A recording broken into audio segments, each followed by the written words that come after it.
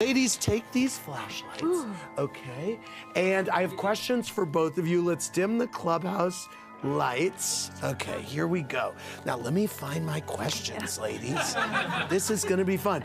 Casey. Oh, God. What is the scariest message you've ever received from a housewife?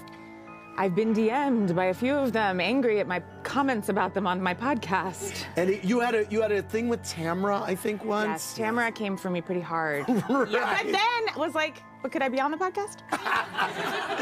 Whitney, uh, what scares you more, a friendship with Lisa or a friendship with Mary?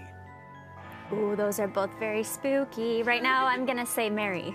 Okay, Casey, in your opinion, what is the most blood curdling romantic rendezvous any housewife has ever filmed? Oh, I don't know what's jumping to mind is when Shannon and David went to that couples retreat and they looked at their own graves. We are co- we are coming off, of course, Ashley and Michael's latest um, uh, hotel room rendezvous a couple right. weeks ago. That was that Sexy. was yes, that was sexy.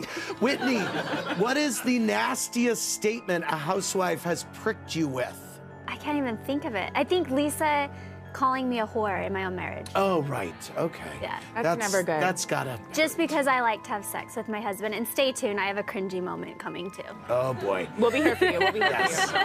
Um, I'm gonna need you to hold my hand. Casey, tell us the scariest aspect of being seated next to Ramona Singer during your 2014 appearance on this show. I'm still in therapy over it, but she, you know, the, she got me on her side. That was the scariest part. Wow.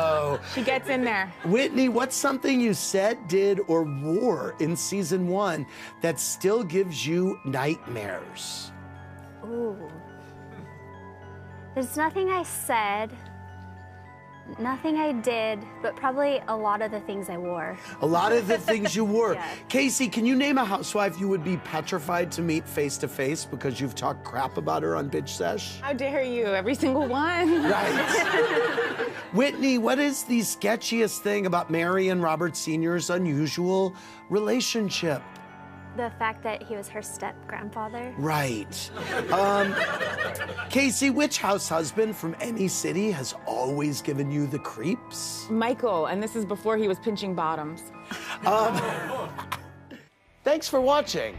Watch more clips here and subscribe to our channel here. See ya.